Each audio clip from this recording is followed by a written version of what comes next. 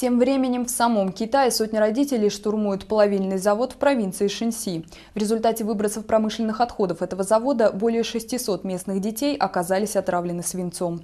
Родители прорвались через заграждение на территории завода Дунлин Эледен Цинг Смелтинко, сообщает местное информагентство. Там разгневанные люди разбили несколько транспортных средств. По имеющимся сведениям, на подавление протеста послали полицию.